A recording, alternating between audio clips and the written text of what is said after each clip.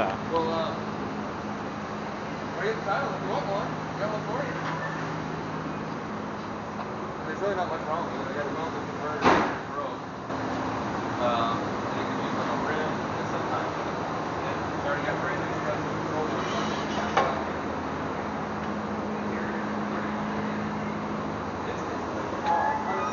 Hey YouTubers! Hey, Hey, YouTubers! YouTubers. Yeah, hey, cut it! We had car accident. Yeah, we accidentally bought a piece of shit rust bucket.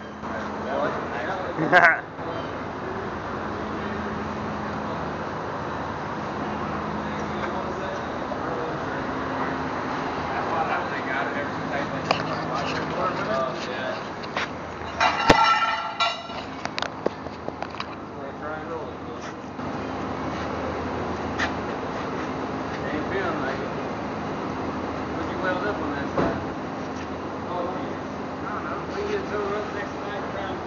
yeah, and from around here. Yeah, I get changes today. Yeah, I was gonna say. You want to get down here or? Ah, they- Or you gonna fucking do this shit? There we go.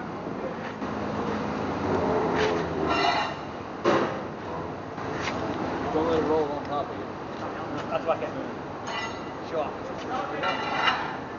So?